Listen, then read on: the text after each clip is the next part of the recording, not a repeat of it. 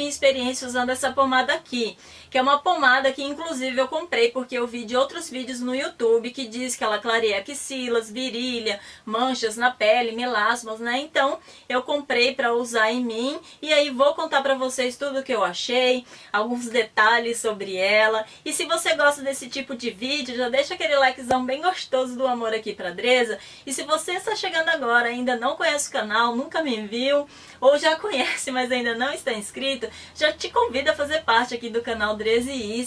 É só clicar aqui embaixo no botão inscrever-se, vem logo aqui fazer parte dessa família. E aproveita já ativa o sininho das notificações para receber todos os vídeos que eu enviar. Então sim, bora lá minha gente, vamos saber o que, que eu achei dessa pomada aqui. Simbora! Então, amores, essa pomada aqui, ela é a base de dipropionato de betametasona e diz que tem 0,5 miligrama e mais o ácido salicílico que tem 30 miligramas. A minha tem essa embalagem verde, mas isso aí varia de laboratório para laboratório. O meu está aqui escrito que é laboratório Delta, eu acho, e o nome dela é Dermosalic. Mas aí é por causa de laboratório mesmo. O que vale é os componentes dela, que tem que ser o dipropionato de betametasona com o ácido salicílico. E aí, referente ao preço, isso varia também de laboratório para laboratório. Essa aqui eu paguei em torno de uns 22 a 24 reais. Como sempre, a Adresa nunca grava e depois não acha a notinha. Mas foi em torno disso, foi uns 22 a 24 reais. E ela vem assim, bisnaga, ó, todas, né, independente do laboratório. E é um gelzinho, gente. Deixa eu abrir aqui pra mostrar pra vocês. Ó, deixa eu focar. Ó, tá vendo? É um gelzinho transparente. E esse tanto aqui que eu coloquei, vamos dizer, para uma área da virilha, é o mais que suficiente. Ela não é uma pomada que você deva exagerar, ó. Ela é assim transparente, você passa, rende bastante e fica desse jeito, ó, meio oleoso e transparente mesmo. Ela não tem cheiro, tá?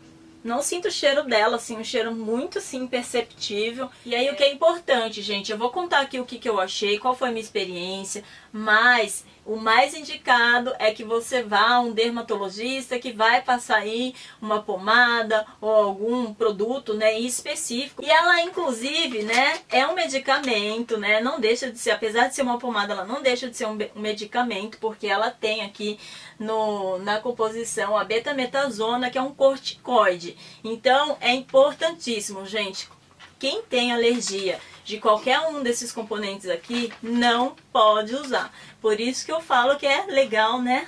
Sempre passar com o médico, porque eu acho que os médicos nem indicam esse tipo de pomada aí para essa função de clarear a pele. E aí, inclusive, a função dela, ó, eu até peguei a bula aqui para ler para vocês, porque é sempre importante, né? A gente dá uma bisoiada na bula, sou dessas, minha gente. E essa pomada aqui, ela é indicada para alívio da inflamação e do prurido, o que seja coceira é, ou doenças crônicas da pele que correspondem ao tratamento com corticoides de uso local, tá? De uso tópico, ou seja, local. E as doenças de pele que ela trata é a psoríase, que é uma doença de descamação de pele, acho que é assim que fala. Também é de dermatite atópica crônica, dermatite de mãos, assim, pequenas bolhas nas palmas das mãos ou na planta dos pés, é, dermatite também do couro cabeludo. Mas aí no couro cabeludo eu não usei isso daí, só o médico mesmo pode passar, gente. Pelo amor de Deus, porque o couro cabeludo, né, né, melhor não. E também indicado para condições que apresentam ressecamento e espessamento importantes da pele. E aí aqui embaixo, ó, que tá dizendo que é importante, não pode colocar em mucosas, nos olhos. Então é uma pomada que a gente tem que ter um cuidado para usar assim. E eu comprei ela para passar, foi na virilha mesmo, tá? Porque é uma região aí que estava me incomodando muito, porque eu dei uma engordada e aí o atrito da pele uma na outra, né, das pernas uma na outra, acaba, infelizmente, ocasionando isso, né, porque aí as pernas ficou muito grossas, né, mas enfim, abafa. E então eu comprei ela para essa função aí de clarear essa área. E aproveitando, eu já tinha uma verruga aí nas minhas pernas aí há muito tempo. É, que estava próxima aí da região, já taquei ela em cima dessa verruga e acreditem, a bicha não cai. Ai, que benção isso. E aí, complementando aí o resultado dela, ela realmente clareia, gente. Fiquei passada. A bicha é boa para isso, apesar de não ser a função dela, mas ela realmente funciona para clarear. Porém, infelizmente, né, nem tudo é perfeito. Ela tem sim alguns pontos negativos que aconteceram comigo. Claro que isso sempre vai variar de pessoa para pessoa. Pode ser que com alguém deu super certo, com a outra já não deu tanto, com a outra não clareou tanto. Isso varia, né, gente? Porque cada um é cada um cada pele é uma pele, né? É igual cabelo, né? Cada cabelo é um cabelo, que a Andresa traz sempre resenha de cabelo aqui. E é dessa forma e não é diferente com pele. Aí pra explicar melhor isso pra vocês, eu pego de novo a bula, tá? Que vem também com os efeitos colaterais que podem acontecer. Então de 0,1 a 1% pode ocasionar nas pessoas coceira, atrofia de pele, olha isso, atrofia infecção de pele ou inflamação, pequenas dilatações dos vasos sanguíneos, ardor, né, que é arder, manchas roxas, inflamação do local onde nascem pelos. E aí, casos raros, né, reações raras pode ocasionar estrias, aumento de pelos, erupções semelhantes à acne, úlcera na pele, urticária, despigmentação da pele, aumento da sensibilidade da pele, queda de pelos, pele seca, pequenas bolhas vermelhidão e irritação na pele. Então, gente, é, aconteceu tudo isso aqui comigo? Claro que não, Deus o livre, né? São as contraindicações que podem ocorrer com a utilização nas áreas no qual ela é apropriada. Então, como eu utilizei na virilha, é aquela região no qual traz aquele atrito, ela deu sim, gente, muita sensibilidade, minha pele ficou vermelha e causou é, umas feridinhas sim devido ao atrito. Então, para quem for usar nessa região, tem que colocar calça e se for usar saia, coloca aí um shortinho por baixo, uma meia calça, no qual vai proteger da pele ficar raspando, porque senão machuca sim, né? Porque ela é uma pomada, gente, ela é forte, hein? Vou dizer pra vocês.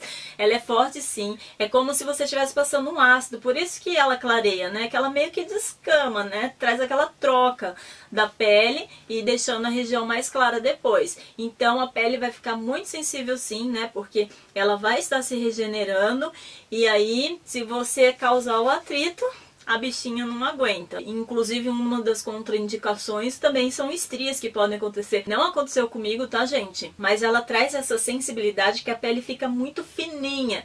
Então, pode arrebentar. E a estria nada mais trata-se de pele arrebentada. Então é importante que você hidrate a pele também depois. Então, são efeitos colaterais raros, mas entre aspas, né? Se você usar também em região errada, pode ocasionar sim essa sensibilidade e causar sim feridas. Agora os demais sintomas que está dizendo aí, né, de atrofia de pele, de erupções semelhantes a acnes, né, aumento de pelos, não, não aconteceu, tá? Mas são sintomas que podem ocasionar, tá? Então, quem for comprar já fica ciente que isso daí varia de pessoa para pessoa.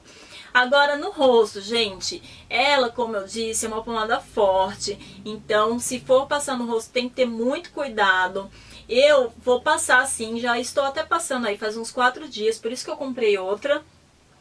Pra passar numa região, eu vou deixar passando aí o vídeo, porque eu tô com a cara agora rebocada, vocês não vão conseguir ver, né?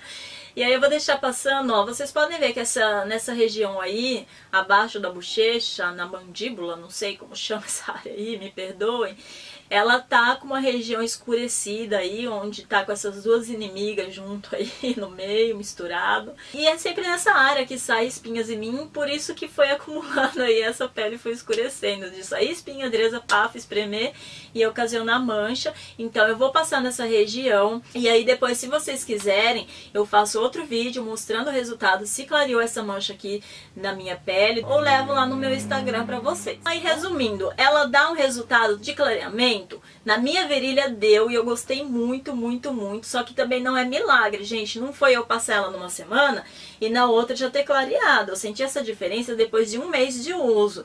Então não é milagre também não. Ela clareia, mas tem que ter paciência. Eu acho que é até um tempo bem curto comparado a muitas outras pomadas. Então ela é muito jóia Só que também tem um lado, né, gente, como eu expliquei, que deu aí uns pontos negativos na minha utilização com ela. E pra utilizar ela tem que estar com a pele sempre bem limpa, tanto na área aí da virilha, da axila, qualquer área do rosto. Tem que limpar muito bem a pele, passar de preferência à noite, principalmente se for no rosto.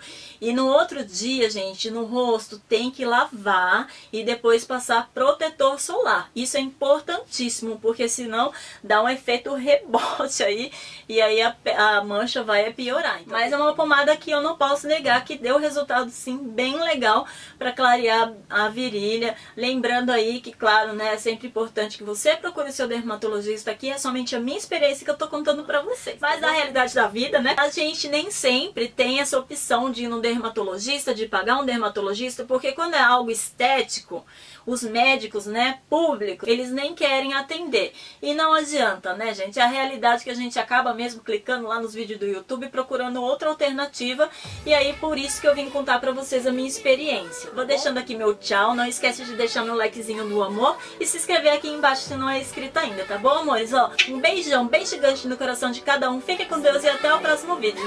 Tchau!